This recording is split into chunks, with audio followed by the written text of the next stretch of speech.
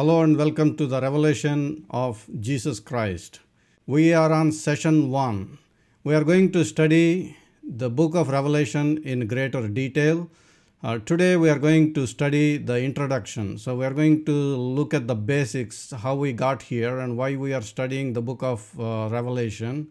So, so one of the key verses in the book of Revelation is, And behold, I am coming quickly, and my reward is with me to give to everyone according to his work. You can see that in Revelation 22 12. So, whenever I read this verse, a story comes to my mind. So, let me start with a story for you. So, um, in a lighter moment, just a story here. And missionary went to a foreign country to preach the gospel, and he was invited to a church to preach the gospel, and he went on went to preach on a Sunday morning. So he was given a pulpit. So he stood at the pulpit and he started um, begin to preach. So before he began to preach, he started opening with a prayer. So he closed his eyes, he started opening his message with prayer. So this church is a very old church. There is no air conditioning and it was very hot and humid. So a young fellow from the church thought probably he could help the pastor, so he bought a pedestal fan. So he bought this pedestal fan and turned it on and put it at full speed. And the pastor, pastor was praying and by the time he opened his eyes his notes is gone so it's nowhere to be seen all the notes that he wrote for the uh, the preaching is gone so the only thing he could remember at this time is behold i come quickly so he thought probably if i start that and then probably the message will come to his mind so he said behold i come quickly so still he could not recollect what his thoughts so he said one more time he said behold i come quickly so he was panicked at this time because he could not, he don't have the notes and he has to preach his sermon. So he, he just hit this pulpit hard and then said one more time, Behold, I come quickly. You know, this pulpit broke and he fell on the first floor, first row of the pew. And there was an old lady sitting there and he said, Ma'am, I am very sorry. I, this pulpit broke and I fell here. And she said, no, you shouldn't, you shouldn't be sorry because you warned me three times. Behold, I come quickly. I should have moved to a different location. so that's what she said. So, anyway, so with that, let's get to the book of Revelation. The book of Revelation has three, uh, few themes. So, the main themes are listed here. The themes in the Revelation, if you look at the first chapter, it is talking about the Christ, the risen Christ, the glorious Christ. And when we look at chapter 2 and 3, it talks about the church, the letters to the seven churches. And when we look at chapters 4 to 22, it talks about the consummation, the final things, how it is all going to end. So that is what we are going to see. So today, as I said, I'm not getting into detail. I'm not going to get into any verses. I'm going to just give you a background of this book. So the themes of Revelation, the Christ, the church, the consummation. When we talk about the Christ, sometimes people have different understanding. You know, even if you talk to two different people and ask who is Jesus Christ, both sometimes give different answers.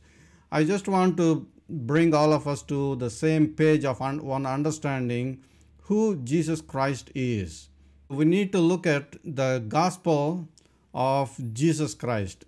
So, what does it say? In, in John 1, cha- chapter 1, verse 1, it says, In the beginning was the Word, Logos, and the Word was with God, and the Word was God. We all know, those who have the Bibles and we have attend the classes and we attend churches, we know who this word talking about. It's Jesus Christ. In the beginning was the Word. In other words, you can say, in the beginning was Jesus Christ, and the Jesus Christ was with God, and Jesus Christ was God. So let that sink in. So the Word is a reason, and that's the Logos, and He was in the beginning. Sometimes people have wrong notion that Jesus Christ was born at Bethlehem and that is his beginning. No, no, no. The Bible clearly says, in the beginning was the Word.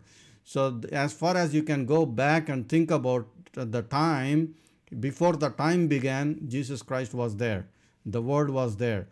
Of course, the name Jesus was given at birth, but Jesus Christ was there from everlasting to everlasting. So let us all have that same understanding of who Jesus Christ is. So, and the word, the whatever the word we talked about, the word became flesh and dwelt among us. So that is when when when the word took on human flesh and born in Bethlehem as a babe, that is what uh, that is when Jesus Christ came into this world. So that is what verse 14 says, and the word became flesh and dwelt among us and we beheld his glory. The glory of the glory as of the only begotten of the Father, full of grace and truth. And now, when we go to the next verse, John chapter 1, verse 29, it says, And the next day John saw Jesus coming toward him and said, Behold, the Lamb of God, who takes away the sin of the world. So here you see John the, was introducing Jesus as the Lamb of God. Why am I showing you these passages? I showed you the previous passages about the Word of God, and I am showing you the Lamb of God. So these are the two themes that run through the book of Revelation.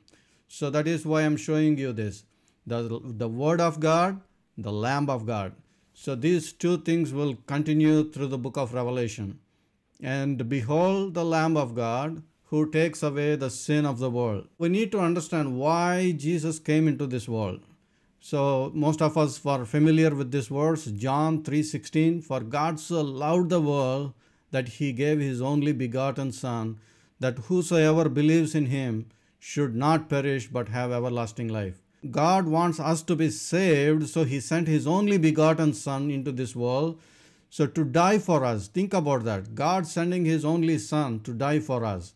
In verse 17 it says, For God did not send his son to condemn the world, but that the world through him might be saved. So now we all know the reason why Jesus Christ came into this world. It is not to condemn the world, but to save the world. But most of the time we stop at these two verses or even stop at verse 16 we will never go to verse 18, which is very important. Here is a very important verse. I want all of you to pay attention to verse 18. He who believes in him, that's Jesus Christ, is not condemned. You see that? He who believes in Jesus Christ is not condemned. But he who does not believe is condemned already. Do you get that? So if a person does not know Jesus Christ, they are already condemned. You and I were condemned to death to eternal hellfire before we came to Christ. There was a point in time that we repented of our sins and asked Jesus Christ to come into our lives, asked Jesus Christ to be our Savior and Lord. And before that, we were all condemned. And now, because we put our trust in Jesus Christ, and because now we put our uh, faith in Jesus Christ, we are saved from that condemnation. Do you get it?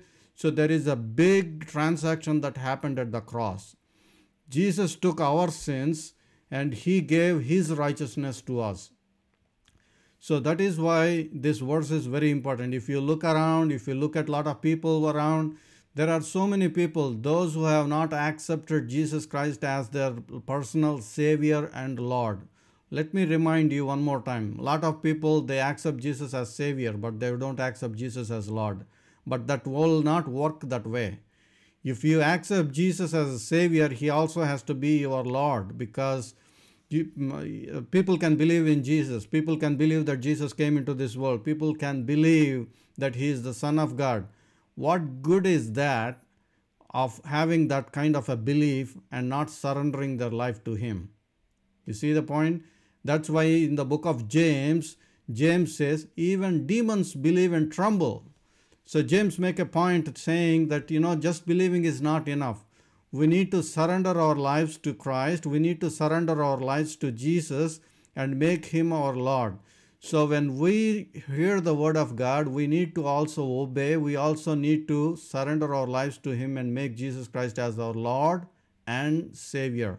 That is very very important most of the time many of the people those who go to churches they don't realize that. They just go to church they said okay i believe in jesus and i am saved. No you are not. If you just think that way that you are not. Because the reason for that is you need to surrender your life and also you need to accept him as your lord and savior. That is very important.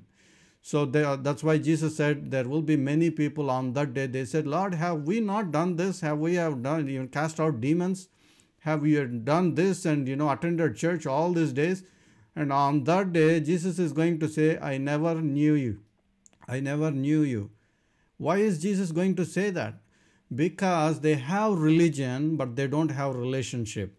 If you have a relationship if you go to god and talk to him and ask him his counsel and uh, you know uh, lord search me and see if there is in any wicked way in me and if you have a closer relationship jesus will never be able to say i don't know you you see my point when you have a relationship with someone that person will never say that i never knew you but if you have a religion, if you just know, but if you have never have a uh, relationship, that is a very sad thing. So that is why I'm trying to bring it to your attention tonight. The gospel of Jesus Christ is basically you need to make him Jesus as your Lord and Savior because he died for you and for me. And sometimes people do not have an understanding of the gospel. And sometimes people say they are saved. So if you ask them what are you saved from? they don't have a clue what they are saved from they are saved we are saved from the eternal damnation. We just saw that you know everyone is condemned right? So everyone is condemned and before we were saved we were all condemned. We were saved from that condemnation. So sometimes when we ask what is the gospel? they don't have a clue what the gospel is. Here i just want to give you a quick summary of the gospel which is written in First Corinthians chapter 15 verse uh, 3 to 5. Paul writing to for the Corinthian church here he says for I delivered to you first of all that which I also received that is the gospel that Christ died for our sins. Keep that in mind. The first thing that we need to acknowledge is that we were sinners and that Christ died for our sins. Gospel starts with sin. Christ died for our sins. Again, it is not just Paul come up with an idea, okay, let me say this. No, he's saying according to the scriptures. What scriptures? The Old Testament scriptures. So it was right from the beginning. Bible is very clear about what this is. So Paul was saying Christ died for our sins according to the scriptures. That's why if you open your Bibles to Isaiah chapter 53, you can see how gospel was presented there that christ was pierced he was bruised for our iniquities so christ died for our sins if you are taking notes this is one very important point christ died for our sins and next and that he was buried. There are religions in this world today that they say that jesus did not die. Because he did not die he was not buried. But bible clearly says christ died so that is why it is very important to acknowledge that he was buried and he, he rose again so he died for our sins he was buried and rose again on the third day according to the scriptures. Again this is all according to the scriptures. So this is the gospel in a nutshell. If you read chapter uh, 1 corinthians chapter 15 gospel is presented very meticulously there.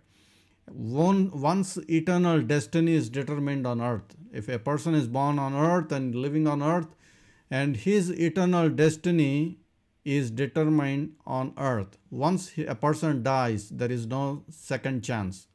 There are people who say once they die, they can, you know, go and, you know, go to some place where they can borrow some merit from other. No, no, no, no. Only one life soon it will pass away. Whatever we do on this earth for Christ, that will last.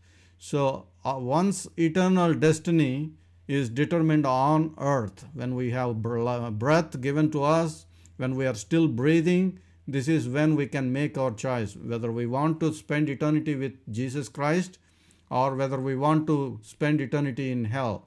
So Bible is very clear on those two places. Anyone who believes in Jesus is not judged or condemned in the future judgment. So, if you trust Jesus and if you accept Him as Savior and Lord, you are not going to be judged. Otherwise, every person is going to stand before the great white throne judgment according to the Bible. And we are going to study that in the book of Revelation eh, you know, towards the end. And how a person gets saved. that if you confess with your mouth the Lord Jesus and believe in your heart that God has raised him from the dead, you will be saved. Again, let me reiterate here the point here. It is not just the belief, although it is, the, the verse clearly says that you have to believe, but it also says that you have to believe with your heart. When you believe something with your heart, you will respond to that. So that is the point here. So if you confess with your mouth the Lord Jesus and believe in your heart that God has raised him from the dead, you will be saved. Sometimes people believe, but they will not. They will act as if they don't believe on the gospel. So that is why it is very important for us to act on what we believe. For with the heart one believes unto righteousness, and with the mouth confession is made unto salvation. So Romans 10 verses 9 and 10 also declares how we are um, preaching, how we are saved. And the gospel is very important especially when uh, uh, Paul was writing to the Romans during that time, people was mocking at him. Are you following this crucified person? Are you following the way? They used to call the Christians the way. And in, in midst of all that, Paul was saying, For I am not ashamed of the gospel of Christ, for it is the power of God to salvation for everyone who believes. In midst of mocking, in midst of persecution, Paul boldly says, I don't care what the world system thinks. I don't care what others think. I am not ashamed of the gospel of Christ, for it is the power of God to salvation. If we wholeheartedly believe the gospel that Jesus died for my sins, that Jesus died and rose again for my sins, you are saved.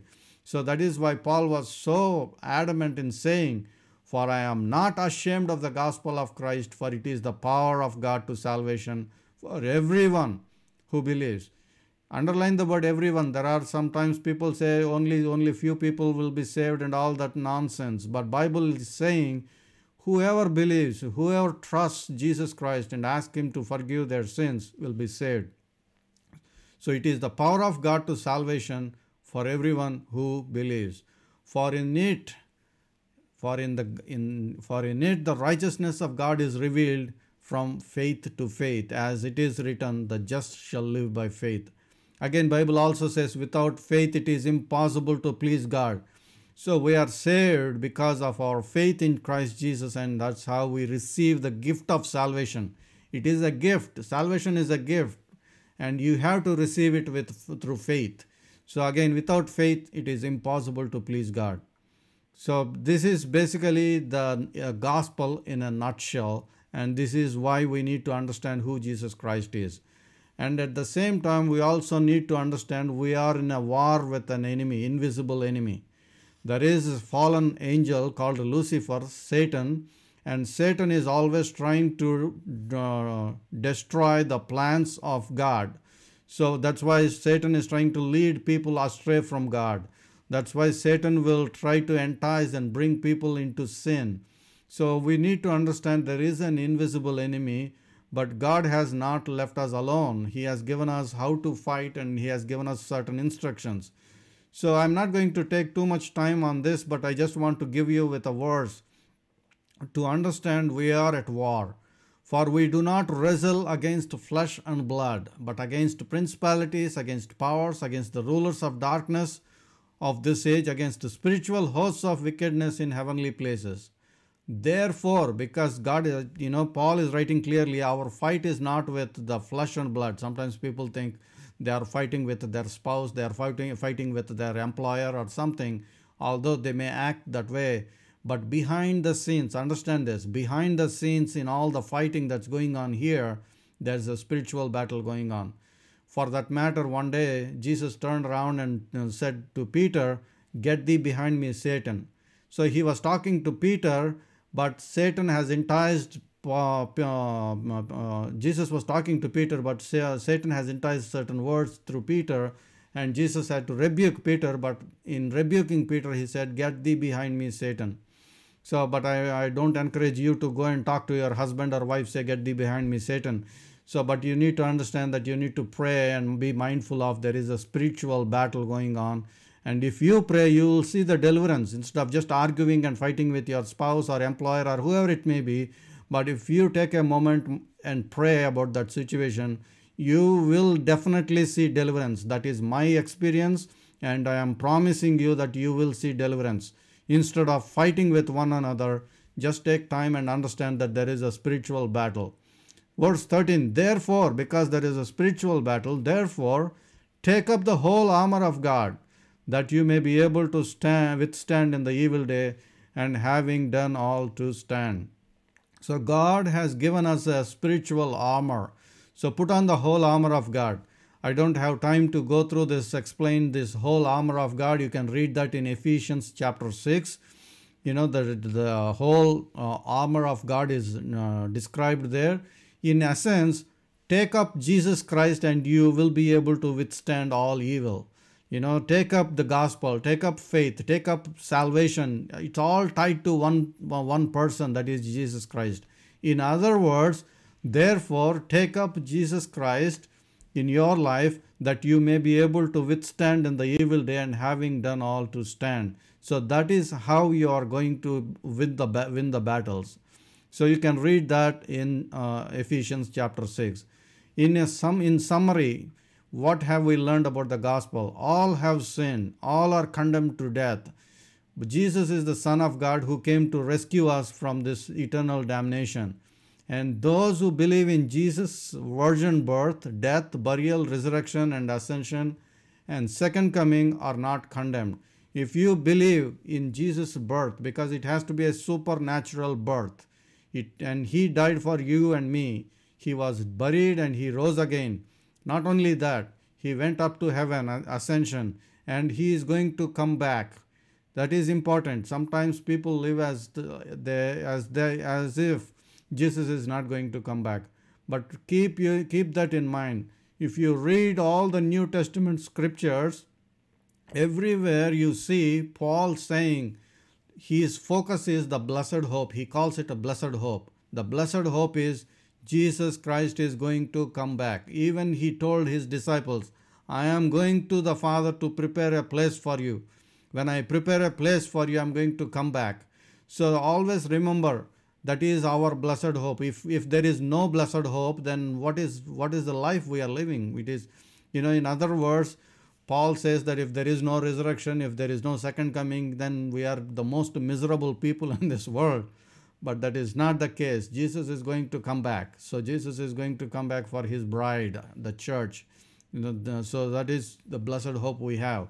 And we fight an invisible enemy, Satan, but God provided us the whole armor of God to fight the spiritual battles. So I think with that we understand what the gospel is how a person gets saved. This is very, very important. The reason I want to bring this to your attention is sometimes people are interested in just studying the Bible, knowing the future things, and these are all good. But are you saved? Are you saved? That is very important. And once you are saved, then God commanded us to learn more, the diligently study the Word of God. So now let's get to the book of Revelation. What is the title of the book? sometimes you see uh, uh, uh, pictures like this or some of your bibles will say the revelation of saint john the divine. So as you see on the slide here sometimes people have their bibles which says the revelation of saint, uh, saint john the divine. Of course john have john have written this book the book of revelation but it is not john's revelation. It is not keep this in mind this is not an accurate title. It is not john's revelation and we will see what the right tra- translation the right title should be so before i go to the right title for the book i will show you a couple of wrong titles how people come up with the revelation of john the divine so it is not john the divine and sometimes people say revelations it is not revelations, it is revelation of Jesus Christ. Keep that in mind. Even sometimes people say, I'm going to Revelations class. No, no, no, don't say that. It is the revelation of Jesus Christ. It's the revelation. It is one revelation. It is not revelations. Keep that in mind. So the right title is unlike most of the books, you don't have to worry about too much. Then what is the title of this book? Tell me. So here is it. The revelation of Jesus Christ. So the revelation of Jesus Christ is the title. So here is uh, the picture from my Bible. It, uh, it says the revelation of Jesus Christ, and you don't have to worry about that too much. If you look at the first verse, if you open your Bible and if you uh, open to chapter 1, verse 1, it says the revelation of Jesus Christ. So there you go. So the title of this book is given in first verse, the revelation of Jesus Christ. So that is the title of this book. So what this book contains, what started in Genesis comes to a dramatic conclusion in Revelation. So that is why I like the Bible very much because you know although there it is written by several authors and all that it it is having a consistent theme God promised that there is going to be a savior coming out, and what started in Genesis comes to a dramatic conclusion in Revelation where Christ is going to come and rule and reign on this earth for a thousand years and for and then after that for eternity. So we are going to see all that in the book of Revelation when we continue to study and when we get to chapters 20, 21 and 22. So we are going to see that how it is going to uh, end. In all its uses, revelation refers to something or someone once hidden become visible. There are certain things that people did not see in the in the past, but those are revealed in the book of Revelation. That is what we are going to see. What this book reveals or unveils is Jesus Christ in glory. And sometimes when you turn your tvs on and you know sometimes people comment like you know I, I, some preachers come there and they say i just talked to jesus christ this morning in my bathroom and jesus christ asked me for a uh, you know i had a question and he asked me and i told him all this. You know when you read the book of revelation you will understand who jesus christ is john the beloved disciple fell on his face when he saw jesus on his in his glory so don't don't be fooled with all the descriptions people give about Jesus Christ. So we are also going to see the seven sealed scroll. One of the key thing that we are going to study is the seven sealed scroll. When each seal is opened, there are certain things that happens and we are going to study in detail what is going to be that uh, every seal means. Christ will come in glory to judge and rule. So we are going to study towards the end Christ will come in, in glory to judge and rule. So, when we talk about the scriptures, the inerrancy of the scriptures, I want to bring all of you to uh, uh, an understanding. The doctrine of the Bible inerrancy is an extremely important one because the truth does matter. You know, there are no errors in the Bible. When I say there are no errors in the Bible, I need to give you an understanding what I mean. So that is what I want to explain this. This issue reflects on the character of God and is the foundational to our understanding of everything the Bible teaches. So if the Bible is false, then there is no point that we need, we cannot trust God. So you need to understand Bible is inerrant. The Bible itself claims to be perfect and the words of the Lord are flawless and like silver refined in a furnace of clay purified seven times. So you can read that in Psalm 12 6. And also it says, The law of the Lord is perfect, every word of God is pure. These claims of purity and perfection are absolute statements applied to original autographs. Did you catch that? All these claims of purity and perfection are absolute statements applied to original autographs. What does that mean? The original autographs are the are the original manuscripts that was written when the author wrote. Like when John wrote his first book of Revelation, that's the autograph, that's the manuscript. In that copy, there were no errors. But later on, there were scribes who copied, and now the uh, publishers, editors, they put their titles and notes, footnotes, and all that. So the, my point is this the, this inerrancy does not apply to footnotes. If you know if you write some footnote in your Bible by the publisher or by the editor, those are not in. They may make mistakes. So make, uh, let this be clear. The inerrancy is we are talking about the original autographs. This inerrancy does not apply to footnotes or any other annotations or headings uh, made by the editors and publishers.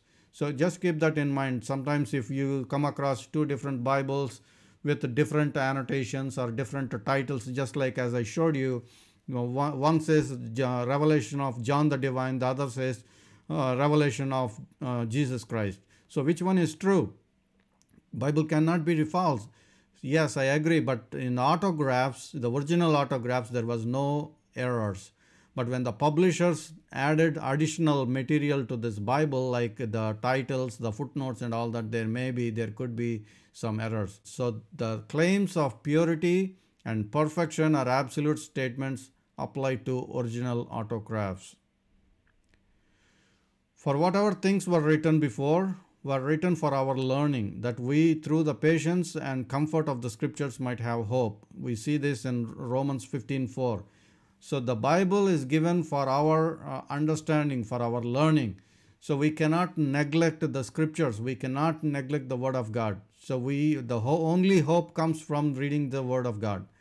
All scripture is given by the inspiration of God and is profitable for doctrine, for reproof, for correction, for instruction in righteousness, that the man of God may be complete, thoroughly equipped for every good work.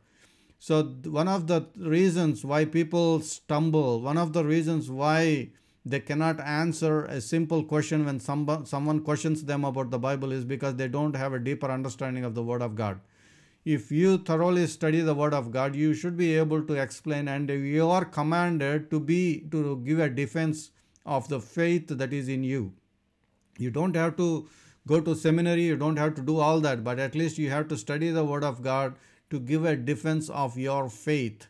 Why you believe in Jesus Christ, you know. So, and here it says, all scripture is given by the inspiration of God, including the book of Revelation. The reason why I uh, say that is there are some churches in in general they omit the book of revelation. They say oh it's too complicated. There are so many symbols. There are so much difficulty to understand the book of revelation. So they don't even touch the book of revelation.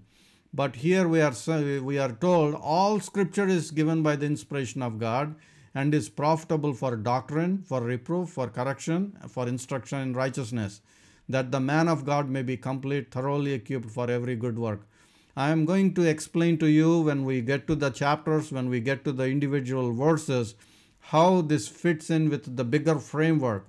We studied from the book of Daniel the larger framework and how this fits exactly into all these things. So we need to have a bigger understanding of the how where this all fits in.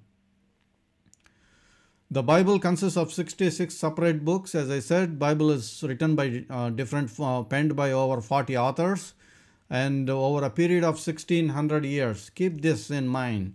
They didn't have email. Moses did not send an email to john the john the apostle saying hey i'm going to write this and you continue from here.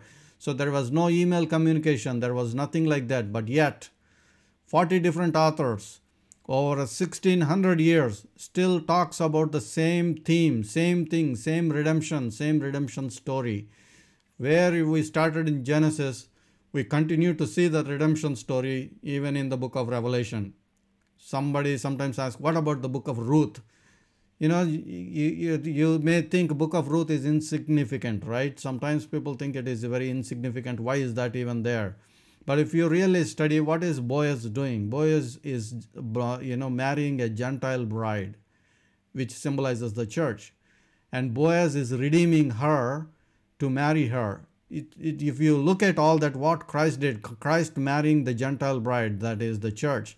So there are so many parallels. I don't have time to explain all that. So what I'm my point is, wherever you look, no matter what book you take and read it, Christ you can see Christ Jesus in everywhere. So it is inspired by God. That is the main reason why it is the theme runs through all these pages of the scriptures. 66 separate books penned by over 40 authors over 1600 plus years, but yet still convey the same story, same redemption story, same story for you, the love for you and me. It contains an integrated message. Every detail is there by design. Sometimes you may wonder why is it this particular thing mentioned? It doesn't make sense, but it is there for a reason.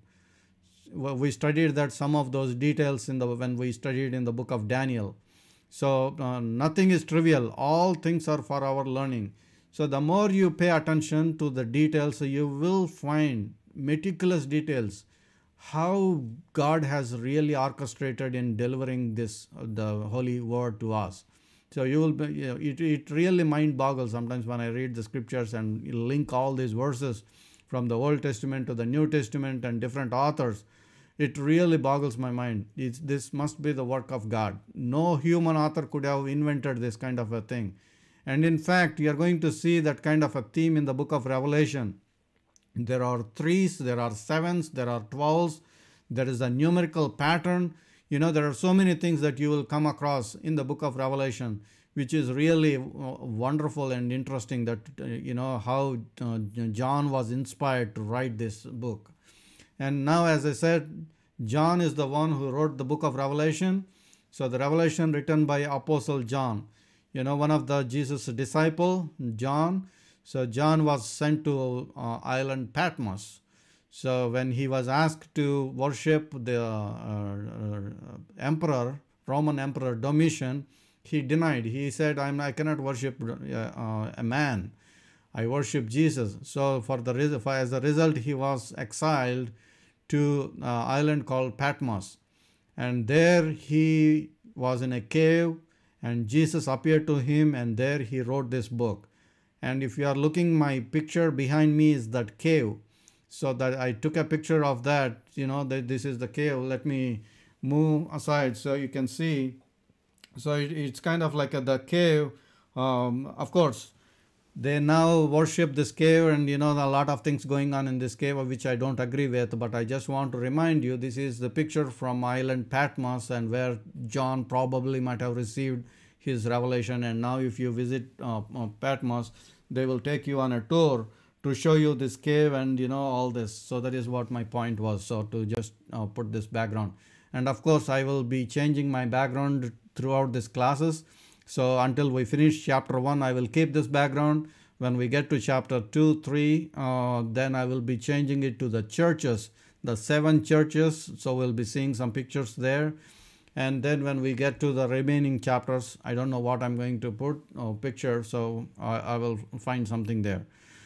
Okay, so John, who, who had borne witness to the word of God and the testimony of Jesus Christ. You don't have to struggle to find the author who wrote the book of Revelation. So here it says in Revelation 1, uh, uh chapter 1, chapter 1, verse 1 and 2, John, who had borne witness to the word of God and testimony of Jesus Christ. It, the early church was nearly unanimous in its understanding that this refers to the Apostle John.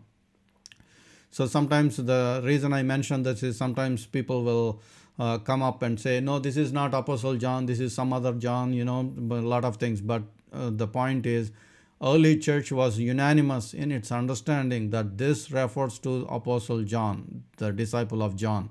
So that is the, uh, the who's the author. John wrote from the island of Patmos, 37 miles from Miletus in the Icarian Sea. This Roman penal colony was a place of, for, uh, of exile for political enemies of the state. Early church tradition says that John was forced to work in its mines. So when John denied worshipping the Roman Emperor Domitian, he was exiled as a political enemy of the state and he was sent there to be forced to, to work in the mines and during the time he had he got this revelation so this author John, so what else did he wrote? So we can see he wrote the Gospel of John, and that's why I showed you a couple of verses from the Gospel of John. We we see he calls the, uh, Jesus the Word, and he calls Jesus the Lamb of God, and you see the pattern also repeated in the book of Revelation. And also he wrote three epistles: First John, Second John, Third John, and also the book of Revelation. So Apostle John wrote the Gospel of John, the three epistles, and the book of Revelation. He was born to born at Bethsaida to Zebedee and uh, Salome, and he is a Galilean fisherman along with Peter and Andrew. So most of the time you hear these names Peter and Andrew and uh, John. So this uh, he they were fishermen, and he was born to Zebedee and uh, Salome. He was well connected to high priest Nicodemus and uh, uh, other other people there. So the, he was well connected to all these people. One of the John is one of the inner circle of Jesus. You can see him at the Mount of Transfiguration in Matthew chapter 17. You can also see him in Matthew chapter 9, verse 18, uh, when raising Jairus' daughter. John was there. And even in the Olivet Discourse, Matthew 24, you can see John was there. And also at the Garden of Gethsemane, when Jesus was crying and praying and uh, in tears, and John was there. Probably he might be sleeping, and Jesus has to wake them up, but uh, he was there as an inner circle. John played a leading role in the early church at Jerusalem. After ascension, after resurrection and ascension of Jesus Christ, John played a leading role in the early church. And it was told that he was one, the, one of the pastors at the church at Ephesus for a long time. John and his brother James were called Boanerges or the sons of thunder. Sometimes they are called the sons of thunder. So that is the John we are talking about. John's Gospel and Revelation refer to Jesus Christ as the Word, as I mentioned earlier. Revelation and Gospel of John describes Jesus as the Lamb, and also both the both the books, Gospel of John and Revelation, calls him a witness. And when was it written?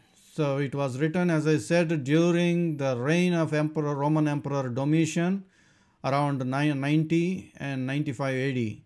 So the, this is the time when the John was exiled to island Patmos, as I showed you earlier. So during that time, he wrote this book, and that's between 90 and 95.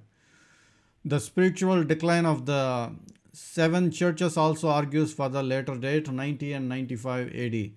The reason I mentioned this point, let me explain. Somebody might be wondering why is this point doesn't make sense. So let me explain what this means. There are some who argue that the book of Revelation was written during the time of Nero, not Domitian, right? When you think that way, it was written around like before 68, before AD 68. If uh, it was written during the time of Nero, it has to be written before 68. So this point makes it the churches were just coming up during that time.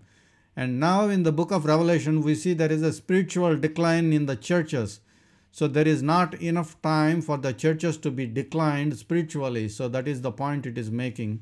Of course, there are other all other points. I'm not going to bring all the arguments. So just, just making a case here. This is written during the time of Domitian and during between 90 and 95.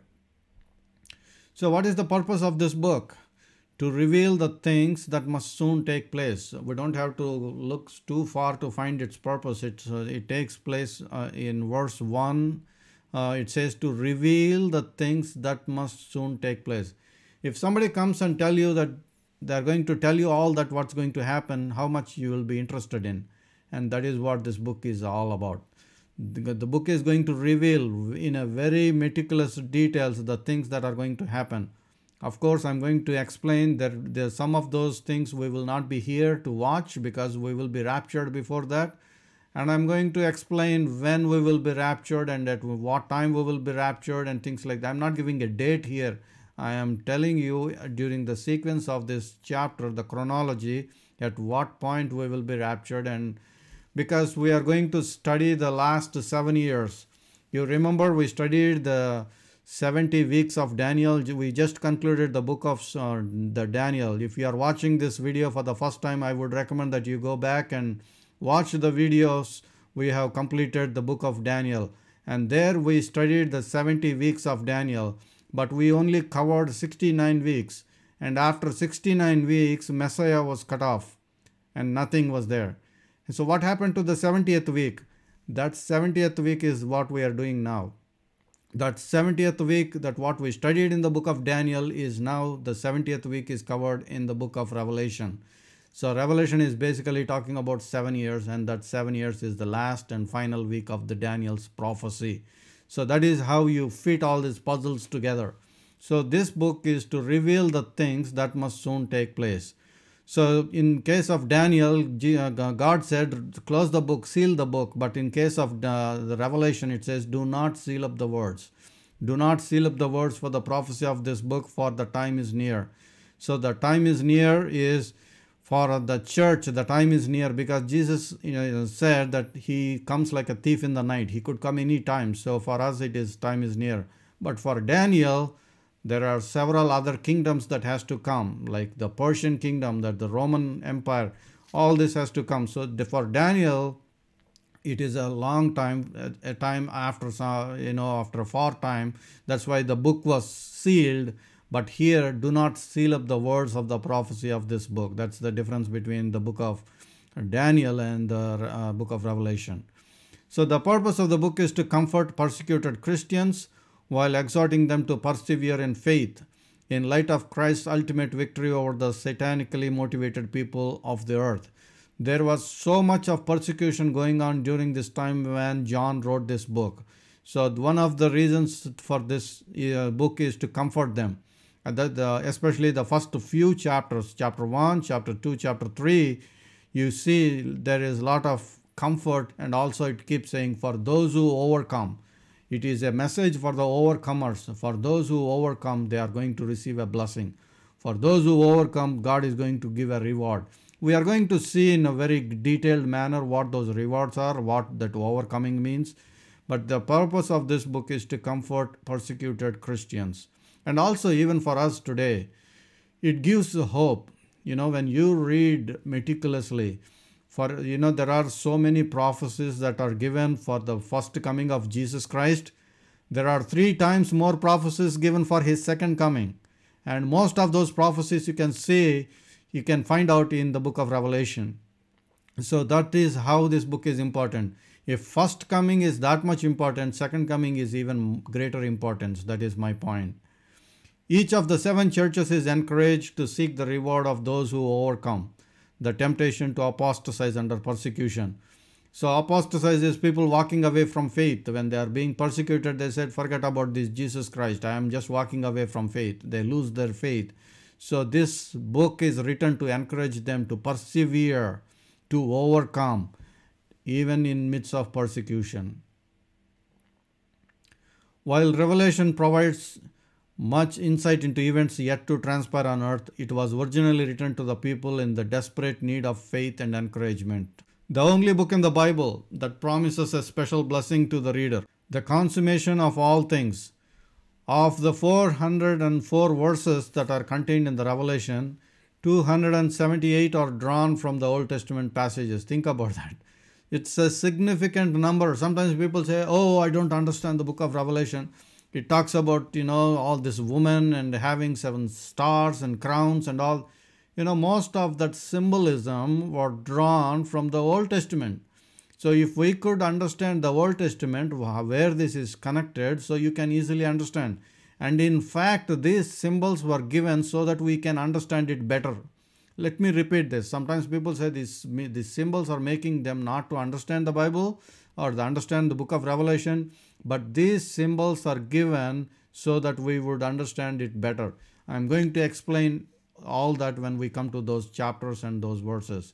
The only book in the Bible that promises a special blessing to the reader, I'm going to explain this when we come to that particular verse. It says, Blessed are those who read this, and blessed are those who continue to obey.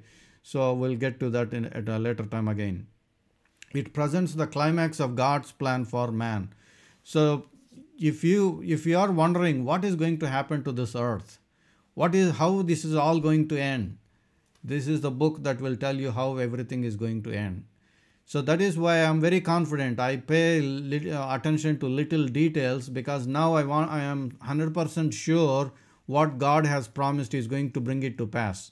So now i know reading from the bible not from our newspaper reading from the bible i know what is going to happen towards the end and when you then look at the things that are happening around in the world, then you can make everything make sense. Sometimes people say, I can't understand what is going on in this world. Yeah, because you didn't pay attention to the Bible. So if you pay deep attention to the Bible, you can understand what is going on in this world. Couple of things. It will be like the days of Lot. It will be like the days of Noah. Is that are we seeing here or not? Right? All the laws that are passed, all the things that are happening, we are trending every time we are going forward towards the days of Lot, Sodom and Gomorrah. And also it says it will be there will be lawlessness will abound. We are seeing right in front of our eyes, even with the uh, shooting that happened recently in Boulder. all these things, when we come across all the things that are happening around, it makes sense when we put the scriptures in front of us. And we shouldn't be discouraged because it somebody said this we know the end of the story, we win, right? We know the end of the story. If we know the end of the story, we win. If you are a believer, if you are a child of God, we win. We may go through some difficult times, we may go through some difficult circumstances, but we know how it is all going to end. We win. That is my hope. That is the blessed hope. As long as God gives me breath, that is what I'm going to do. I'm going to speak the truth. I'm going to say what God has asked us to say. So God has given us the the Bible, the Revelation, and we should really pay attention to the scriptures and um, put more effort in learning these things.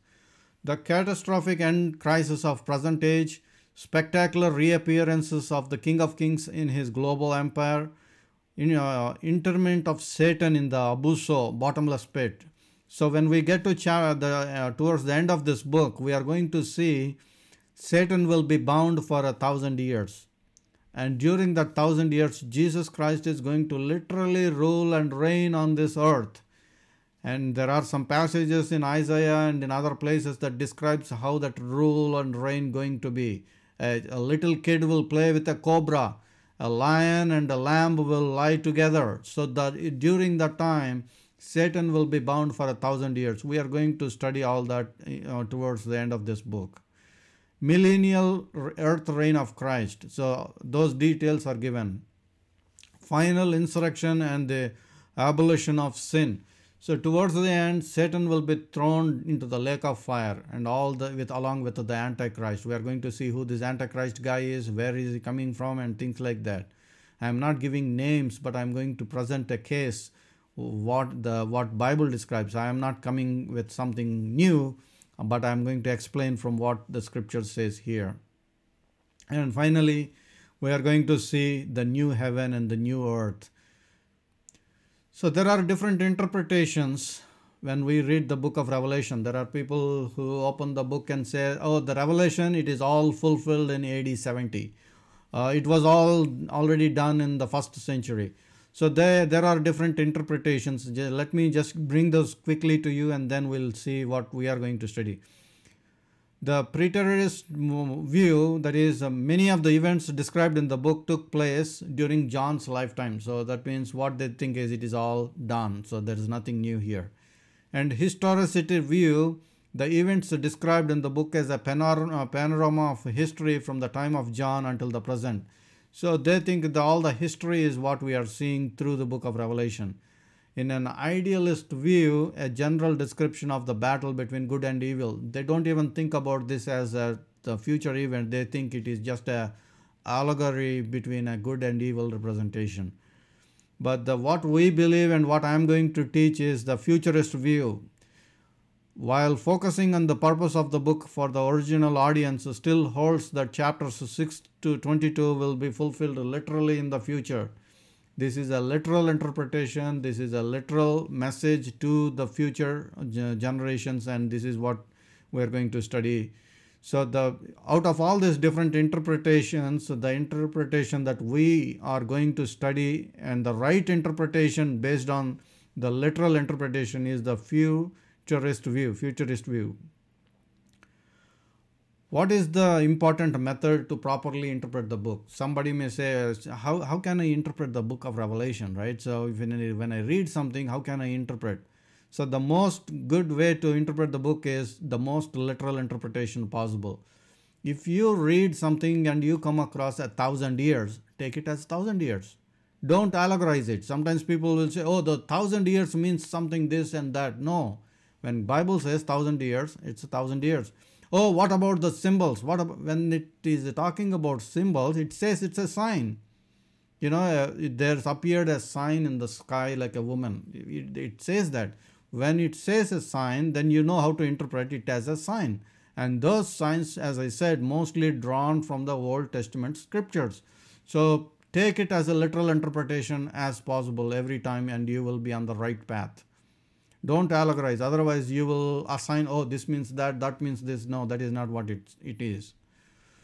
and prophecy when we talk about a prophecy something that was foretold and we and so we have the prophetic word confirmed which you do well to heed as a light that shines in a dark place until the day dawns and the morning star rises in your hearts knowing that first that no prophecy of scripture is of any private interpretation do you see that point you cannot just take thousand years and say oh this thousand years means oh something else you know no no prophecy of Scripture is of any private interpretation.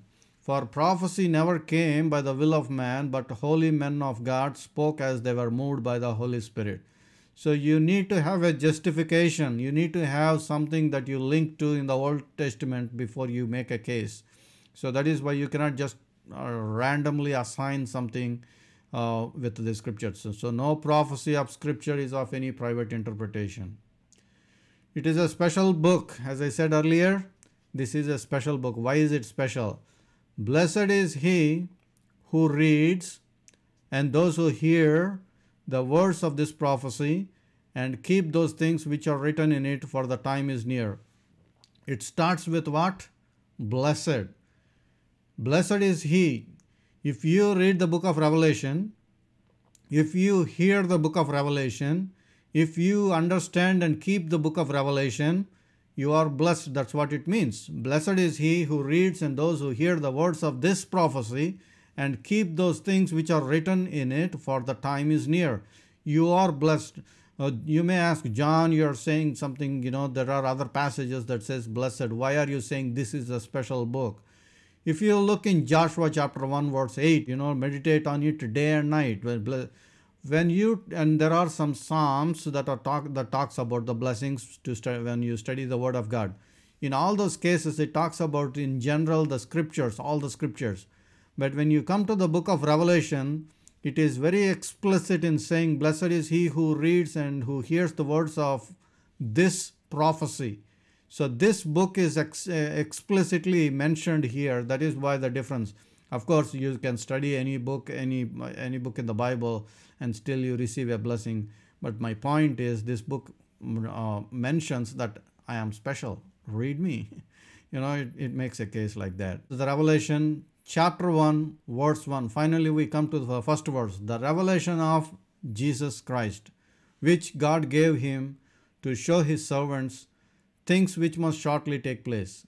And he sent and signified it by his angel to his servant John so it was the message of Jesus Christ. God gave it to Jesus and he gave it to his servants and it was given through the angel to given to John who bore witness to the word of God and to the testimony of Jesus Christ to all the things that he saw. We are going to study in the next session in a detailed manner chapter 1 every verse of it. So this is just the introduction of the book of Revelation.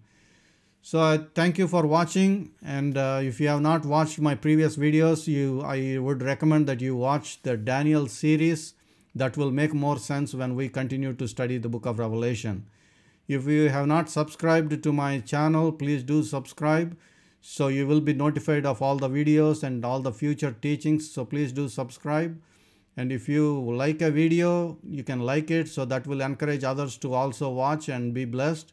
And if you uh, this is the youtube channel address you can just go to youtube dr john reddy. And also you can visit my blog where i write occasionally some posts mydailydevotion.org thank you for watching. See you next week